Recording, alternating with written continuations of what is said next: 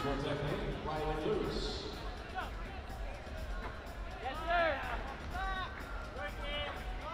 Now on ball for Ohio State.